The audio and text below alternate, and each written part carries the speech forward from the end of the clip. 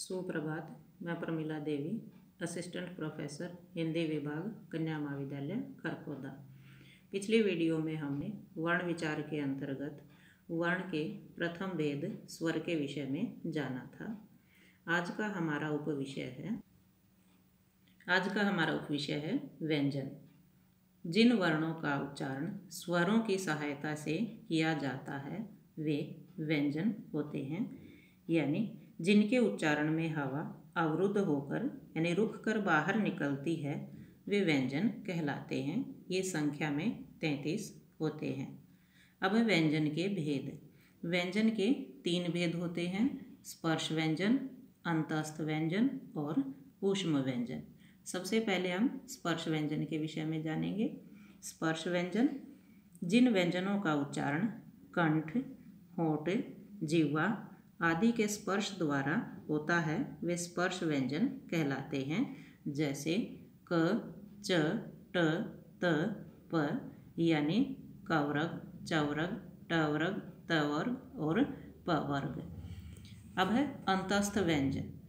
अंतस्थ व्यंजन जिन व्यंजनों का उच्चारण करते समय जीवा पूरी तरह मुख के किसी भाग का स्पर्श नहीं करती वे अंतस्थ व्यंजन कहलाते हैं। ये संख्या में चार हैं, जैसे य, र, ल और व। इसके बाद है ऊष्म व्यंजन। ऊष्म, ऊष्मा यानी गर्मी। जिन व्यंजनों के उच्चारण में हवा के रगड़ खाने के कारण मुख से ऊष्मा यानी गर्मी निकलती है, वे ऊष्म व्यंजन कहलाते हैं। ये संख्या में चार हैं, जैसे श श स, ह। इसके बाद है संयुक्त व्यंजन। संयुक्त का अर्थ जुड़ा हुआ या जुड़ना।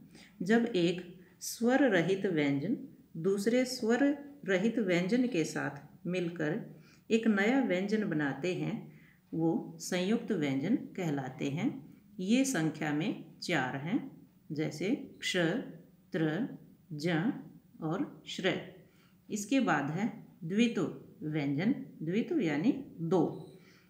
जब एक स्वर रहित व्यंजन का समान स्वर सहित व्यंजन से मेल होता है, तब वह द्वित व्यंजन कहलाता है, जैसे धक्का, मुक्का आदि।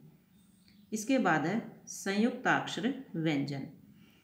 जब एक स्वर रहित व्यंजन का भिन्न स्वर सहित व्यंजन से मेल होता है तब वह संयुक्ताक्षर कहलाता है जैसे त्याग प्यास आदि।